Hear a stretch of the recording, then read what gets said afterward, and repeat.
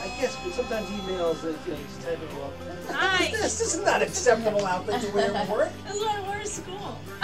It's not acceptable to wear to school either. It was supposed to be stuck Get the hell out of here. Get the hell out of here. It's Friday. Come It's not dressed down. We have dress up Wait, Friday alright, here. you won't be that. No, I am bad. It's already, it's sorry, I'm already furious.